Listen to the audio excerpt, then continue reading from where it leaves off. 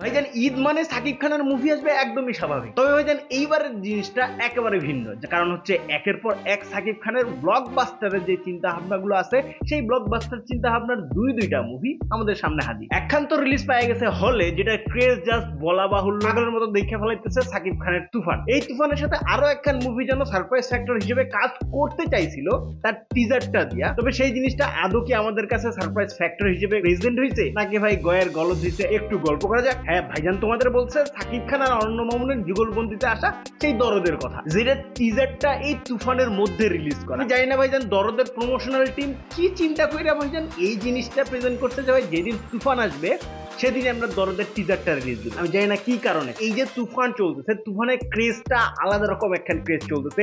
সেই ক্রেজের মধ্যে যখন তুমি দরদরে ঢুকাবা, দরদের হাইপটা ক্রিয়েট করার চেষ্টা করবা, তখন কি সেটা আদৌ কাজ করবে? আমার তো মনে হয় না। আর সেই জিনিসটা আমার মনে হয় করেও নাই। সবচেয়ে বড় উদাহরণটা হচ্ছে, ভাই, এর হাইপটা এই জায়গায় একটা মুভিকে নিয়ে হাইপ প্রচুর লেভেলে হ্যাঁ সাকিব খানেরই মুভি দুইটা, তবে এই যে তুফানের হাইপটা সেটা বাসটা আগে ক্রিয়েট তো হইতে দাও। দেন তারপরে চিন্তা ভাবনা করো যে, ভাই এর পরে মানে আমাদের অডিয়েন্সের মনের মধ্যে একটা খুঁতখুতি জায়গায় দেখবে ভাই সাকিব খানের পরবর্তী মুভি কি আসতেছে? তখন আমাদের এই দরদের কথা মানে নিয়ে আসার দরকার ছিল। অর্থাৎ তুফানের যে ক্রেজটা আছে, এই ক্রেজটা আরেকটু বাড়ার পরে তার পরের টিজারটা রিলিজ করার দরকার ছিল।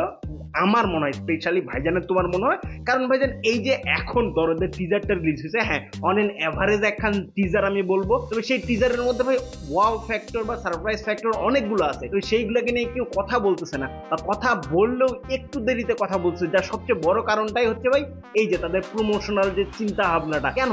এইভাবে কিসের জন্য করতে লাগবে? একটা দিন পরে টিজারটা রিলিজ করলে হইতো না? এই সাথে আরও একখান কমপ্লেন আছে ভাইজানের টিজারটাকে নিয়ে অনন্য মামুনের কাছে যে ভাই, এক মিনিট চব্বিশ সেকেন্ডের ইন্ট্রোডাকশন দেওয়ার কোনো দরকার ছিল? টিজার তো ভাই জাস্ট টিজ করবে। যে টিজটা করার পরে আমাদের আগ্রহটা জাগাবে যে ভাই কি আসতে আছে সাকিব খানের পরবর্তী মুভি যেমনটা তুফানের টিজারের ক্ষেত্রে আমরা দেখছি। তুফানের ট্রেলারের থেকে কিন্তু টিজারের হাইপটা বেশি ছিল। আমরা যদি স্পেসিফিক ভাবে চিন্তা ভাবনা করি, আমরা প্রত্যেকের টিজারটাকে নিয়ে গল্প করতেছিলাম যে ভাই ই টিজার বানাইছে রে? সেই জিনিসটাই ক্রিয়েট করতে পারে অনন্য মামুনের টিম যার ফলশ্রুতিতে ভাই এই টিজারটাকে নিয়ে গল্প স্বল্প খুবই কম হচ্ছে আমাদের এই রিভিউ পাড়ায়। তো ভাই জান এবার আসি মেইন পয়েন্টটাতে যে ভাই, এই যে অনন্য মামুনের এতদিন ধরে হাইপ ক্রিয়েট করা বুজ খলিফা থেকে শুরু করে প্রত্যেকটা জায়গায় যে হাইপ ক্রিয়েট করা বা হাইপ বাসটা তৈরি করা ভাই আমি আনতেছি। সেরা প্যান ইন্ডিয়া লেভেলের মুভি সেরা মুভি দুই বাংলা মিলা, সাকিব খান সুপারস্টারকে নিয়ে সেটা টিজারটা কেমন ছিল? প্রথমত বললে আর কি টিজার খান আমার কাছে ওয়ান অ্যান্ড অ্যাভারেজ একখান টিজার লাগছে। অনেকে সারপ্রাইজ হয়ে যাবে ভাই, কীভাবে? না, আমি সাকিব খানের কথা বলতেছি না, সেই টপিকটাতে আসতেছি। তবে এই যে টিজারটা প্রেজেন্ট করছে, যে আমাদেরকে ক্যারেক্টার ইন্ট্রোডিউস করা দিচ্ছে, যে ভাই কে কে থাকতেছে আমাদের মুভিগুলোর মধ্যে, কাকে কাকে দেখতে যাচ্ছে আমরা মুভিগুলোর মধ্যে, এটা তো দরকার ছিল না। এখন টিজার আমাদেরকে টিচ করে যাবে যে, ভাই, আস্তে ধামাকাদার কিছু যে জিনিসগুলো তোমরা আগে কখনো দেখো নি সাকিব খানকে স্পেসিফিক ভাবে সাকিব খানকে এই ক্যারেক্টার গুলোতে তোমরা আগে কখনো দেখোনি। এই টাইপের একটা টিজ করে যাবে। যেইটা করছে টিজারটা শেষের দিকে। আমি টিজারটা শেষের দিকের কথা বলি, যে জায়গায় স্পেসিফিকলি সাকিব খানকে আমরা দেখছি ছয়, ছয়টা ক্যারেক্টারে হ্যাঁ যারা লক্ষ্য করেনি ভালোভাবে, তার টিজারটাতে একটু ভালোভাবে লক্ষ্য করলে দেখব জেলের একখান সিকুয়েন্স ছিল এই জায়গাতে। সেই জায়গায় আমরা একটা একটা করে টোটাল ছয়টা জেলের ক্যারেক্টারটা থেকে শুরু করে টোটাল ছয়টা ক্যারেক্টার পাবো একটা মানুষের মধ্যে। যেখানে এখন পর্যন্ত আমাদের বাঙালিদের ক্ষেত্রে ওয়াও বলার অনেক বড় একখান কারণ। তবে এই ওয়াও ফ্যাক্টরটা তখনই হইতে পারতো এই যে সব ক্যারেক্টার গুলাকে আমাদের যাদেরকে নিয়ে পুরো মুভিটা তৈরি করা আছে এদেরকে যদি না দেখানো হয়তো শুধু টিজ করা হইতো যে, ভাই, সাকিব খানকে আমরা দেখতে যাচ্ছি মাল্টিপল পার্সোনালিটিতে সাকিব খানকে আমরা দেখতে যাচ্ছি এইভাবে বা এইভাবে। এইভাবে যদি প্রেজেন্ট করতো না আমাদের সামনে ছোট্ট খাট্ট একটা টিজার দিয়ে, তাহলে ভাইজান পুরাই মাখন লেভেলের কিছু একটা হইতো। কারণ সাকিব খানের অ্যাক্টিং থেকে শুরু করে, সাকিব খানের প্রেজেন্টেশনটা দেখছি আমরা জাস্ট ফ্লিপ একটা ক্যারেক্টার হইতে না হইতে আরেকটা ক্যারেক্টারে চলে যাচ্ছে। এই জিনিসটাই আমাদের আগ্রহের সবচেয়ে বড় কেন্দ্রবিন্দু। না, আমাদের আগ্রহের কেন্দ্রবিন্দু ওইটা না যে আমরা কাকে কাকে কাস্ট করছি।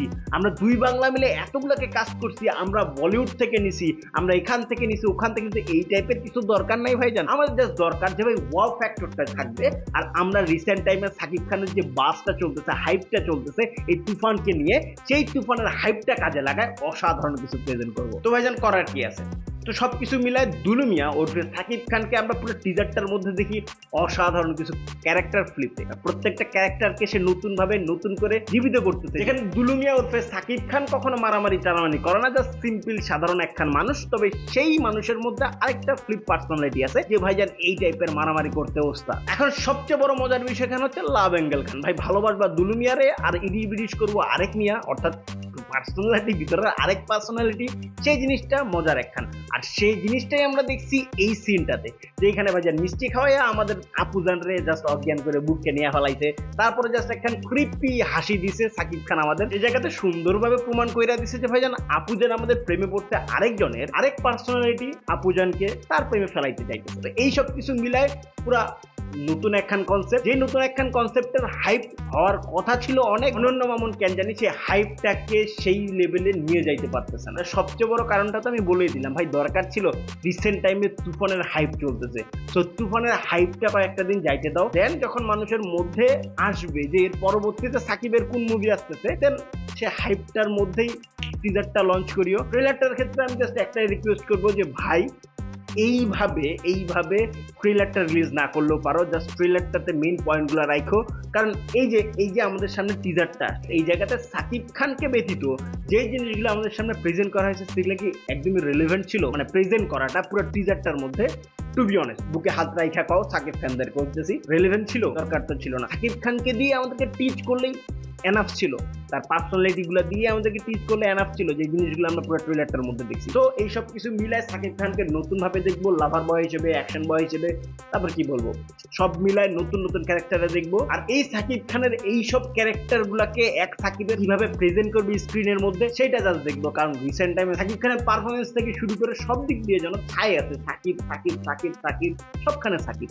আর যা সবচেয়ে বড় শ্রেয় যাবে এই যে এই যে রিসেন্ট টাইমে তুফান, কারণ সেই বাসটা ক্রিয়েট করতে পারছে তুফান, আর সেই, যেই বাসটা সাধারণত সাধারণত আমাদের ইন্ডাস্ট্রির ক্ষেত্রে খুবই কম, একদমই রেয়ার টাইপের একখান জিনিস। তো এইসব কিছু মিলে টিজারটা আমার কাছে অন অ্যান অ্যাভারেজ লাগছে, আমি জানি না কার কাছে কেমন লাগছে কিনা। আমার কাছে সাকিব খান ব্যতীত বাকি সবগুলারে সেই জিনিসগুলো আমার সত্যি কথা বলতে গেলে বিরক্তিদায়ক লাগছে। দরকার ছিল না তো আমাদেরকে দেখানোর যে ভাই আমি একে একে নিছি, ওকে ওকে নিছি, এটা একটু বেশি হয়ে গেছে। একটু রিকোয়েস্ট করব যে ভাই ট্রেলার খান অন্তত পক্ষে এই টাইপের বানায়ও না। ট্রেলার খান জাস্ট টু বি অন পয়েন্টে রাখো আর আমাদেরকে স্টোরি নিয়ে বেশি রিভিল করিও না।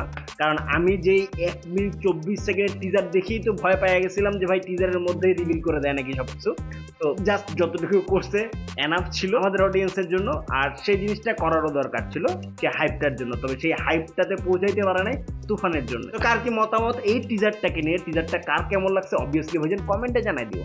আর আজ পর্যন্তই। দেখা হবে নতুন কোনো ভিডিওতে, নতুন কোনো টপিকের সাথে।